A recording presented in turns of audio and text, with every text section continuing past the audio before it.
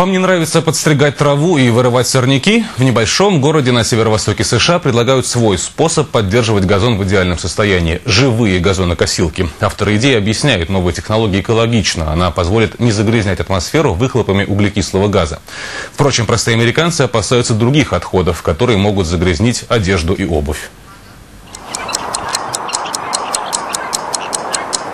Сотрудники одного из парков в городке Хэмпстед, штат Нью-Йорк, стали первыми в США, кто решил отказаться от использования газонокосилок. Работу, которую выполняет устройство, они отдали на откуп травоядным. Сейчас этим карликовым нигерийским козам всего несколько месяцев от роду. У каждой из них есть свой личный домик. Над ними сотрудники парка написали имена новых хозяев. Чихун, Скромник, Простак, Док и Соня. Животных назвали в честь героев сказки «Белоснежка и семь гномов». За каждую из козочек мэрия Хэмпстед Хэмпстеда выложила более 250 долларов. Администрация города уверена, инвестиции в животных себя оправдают. Ведь теперь парку не надо тратиться на бензин, да и экологи наверняка скажут спасибо.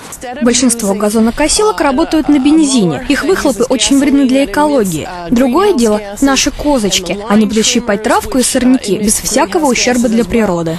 Впрочем, есть у этой идеи и противники. Посетители парка, конечно, рады дышать свежим воздухом, но они задаются вопросом, а кто будет убирать навоз биогазонокосилок? Власти города этот аспект пока не комментируют. В данный момент козы простаивают без работы, им еще надо подрасти. Через несколько месяцев, когда животные будут весить около 40 килограммов, их выпустят за ограду истреблять сорняки и жевать траву. Сотрудники парка не сомневаются, вскоре и другие города последуют их примеру, ведь в своем штате они считаются весьма успешными новаторами. Несколько лет назад парки в Хэмпстеде наводнили клещи. Тогда мэрия закупила целую стаю гвинейских куриц, которые обожают этих насекомых. И уже через некоторое время клещи полностью пропали.